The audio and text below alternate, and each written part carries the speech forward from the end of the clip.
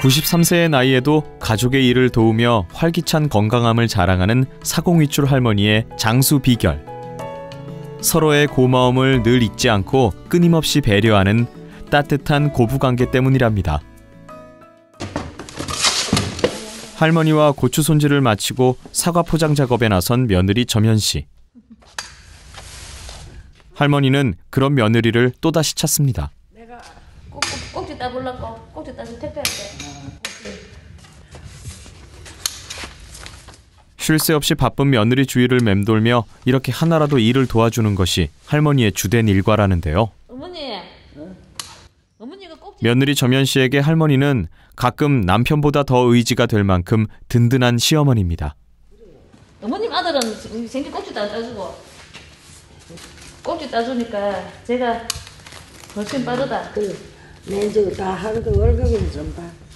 월급 좀 줄까요? 음, 사연 거기서 다 타거든. 일이 마무리된 뒤 할머니가 다정한 포즈를 만들고 나섰습니다. 민원이하고 싸운다. 다른 사람 민원하고 싸운다 하는데 우리는 우리는 안.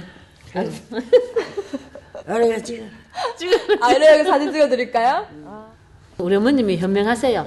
어, 뭐 항상 단집에 살다 보면 안 좋은 일도 있는데 어, 안 좋은 일 있을 때는 또 어머님이 또 뭐 격려도 해주고 또 뭐 살다 보면 그럴 때도 이- 있다 하시고 그래가지고 또 그걸 또 유한 삼고 막 히- 내가 힘들 때는 농사일은 음, 투정도 막 부리거든요.